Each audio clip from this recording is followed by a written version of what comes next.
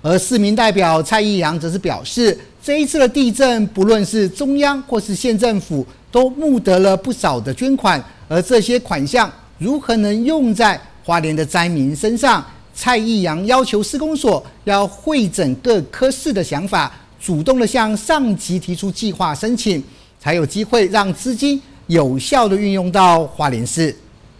市民代表蔡阳指出，这次地震，不论是中央或县政府都募得不少捐款，而这些款项如何可以用在花莲灾民身上？蔡阳要求施工所会诊各科室想法，主动向上级提出计划申请，才可以有机会让资金运用在花莲。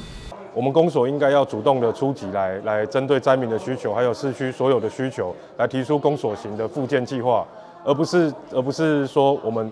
能力。不不到我们就没办法争取，不是是我们去争取了，才知道拿不拿得到这些这些经费来照顾我们的灾民，给他们援助。那这是这一次我咨询的重点，所以我每一个我们施工所团队每个都是精英，那我们需希望他们主动的提出可以为我们市民做什么。